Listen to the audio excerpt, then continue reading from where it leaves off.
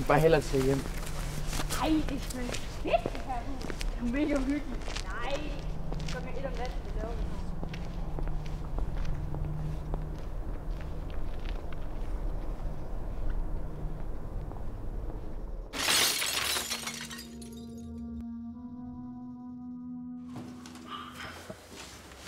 Fedt.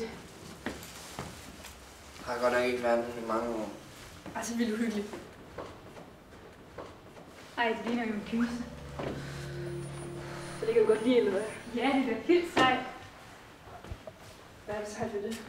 Det er det bare. Hvad så? Kender I myten om huset her? Jeg tror, jeg har hørt lidt om det. Nej, hvilken myt? Der er faktisk sket et mord i det her hus.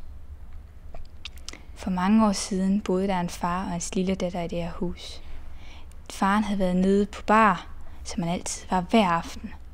Og hans lille pige havde siddet herhjemme i sin lille hvide natkjole med sin lille dukke og leget i flere timer og ventet på, at sin far skulle komme hjem.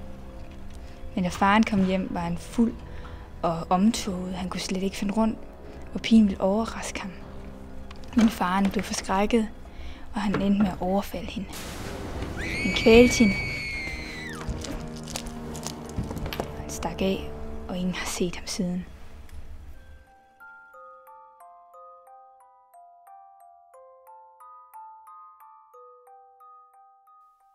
Vi går snart til hjem. Ej, vi er jo lige kommet. Du tror seriøst ikke på det, vel?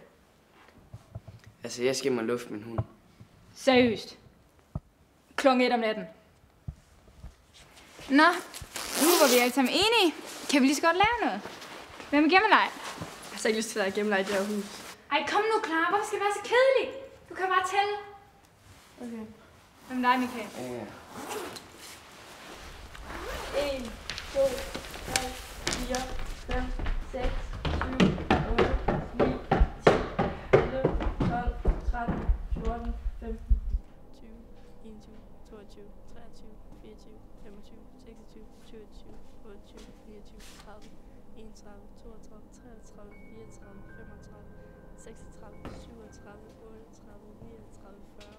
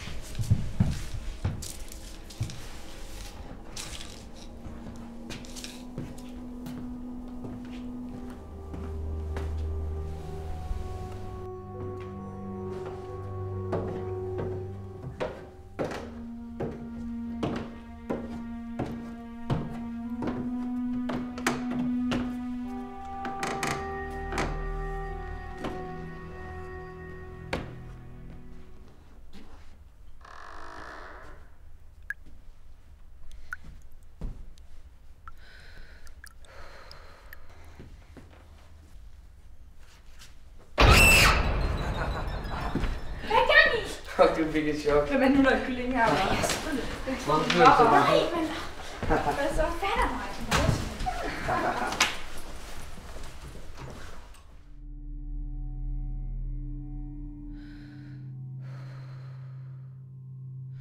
Belle, det var bare for sjovt, når nu man være sur. Tror du helt ærligt selv, det er sjovt? Lad mig være bange. Nej, kom nu. Uh, nu kommer spøgelset. Det kommer fanger lige om lidt. Ej, Isabella, vent nu. Vent nu på os. Isabella!